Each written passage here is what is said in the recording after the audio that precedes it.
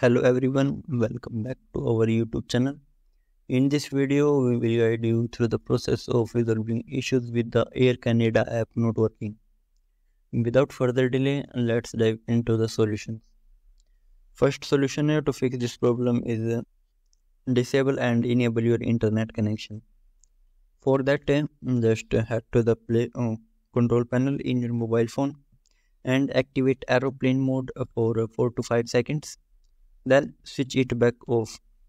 By doing this uh, your mobile phone will disconnect from internet for few seconds and uh, reconnect with the internet soon. Second solution uh, to fix this problem is clear air india air canada app caches. Clearing the app caches can often resolve performance issues.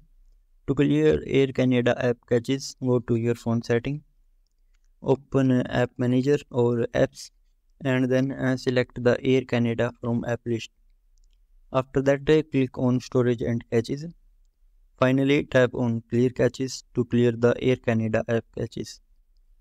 Third solution uh, to fix this problem is uh, force close and restart Air Canada app. For that, uh, just move one step back and then click on force stop from the bottom right corner. Confirm by clicking OK and then reopen the app. Fourth solution to fix this problem is um, update Air Canada app to the latest version. For that, uh, head to the Play Store and uh, search for Air Canada. After that, uh, select the app. If an uh, update is available, you will see an update button next to the app. Tap on it to update the app to the latest version. Once updated, launch the app again.